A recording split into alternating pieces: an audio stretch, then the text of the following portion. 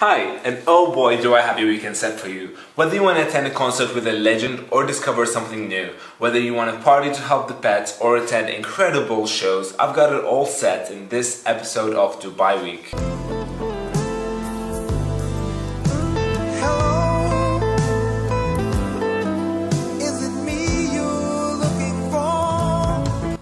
Mean, who wouldn't want to listen to such a legend live?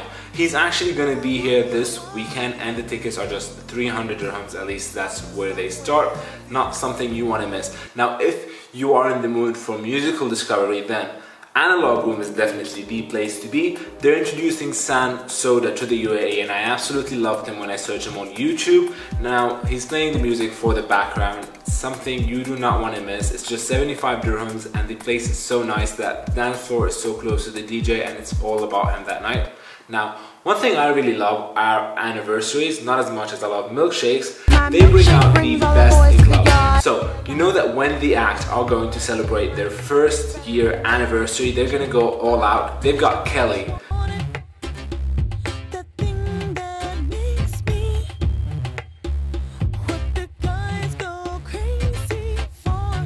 and a lot of other surprises. Now for table booking, you can check out the description, it's got their email, and that's all I've got for Thursday. This Friday, you can support the cutest thing in the world. Rock for Paws is back again, this time with four of the biggest bands in the UAE, so you can rock out and support hungry and sick pets at the same time. Now on a larger scale, if you want to have a party outside at Emirates Golf Club, two huge German DJ bands are actually coming this Friday. Now it's Tale of Us and Mind Against and the tickets start at 180 dirhams.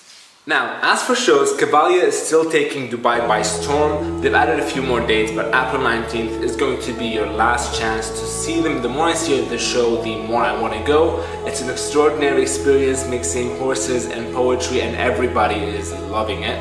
Another thing that you've got to see this weekend because it ends on Sunday is my friend's first art gallery. I just went yesterday and it was incredible. I love the way he mixes his colors and everything. It's all the way in Sharjah, but if you go there, he's actually going to tell you the story behind his masterpieces, and that is just absolutely incredible to actually see the artist with his work. Now, the last thing I want to talk about is the Imagineer. This is an absolutely new premiering in Dubai experience where they're going to show the Cirque in an IMAX screen. The show that lasts for 70 minutes and tickets start at 150 and goes all the way to 400 for the VIP experience. It's by Le Petit Cirque and it's just going to be a visual masterpiece that you do not want to miss. Now, I've got you hooked up. If you actually share my Facebook post about this video, check out my page Dubai Week or just click the annotations for it.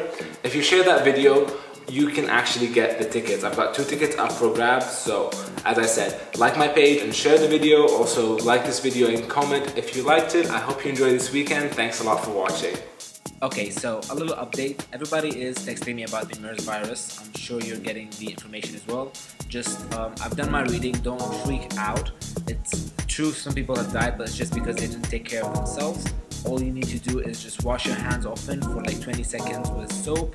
If you contact anybody with flu symptoms, just stay away from them. If you have any flu symptoms, go to a doctor right away. Don't be worried and just uh, relax and enjoy your weekend.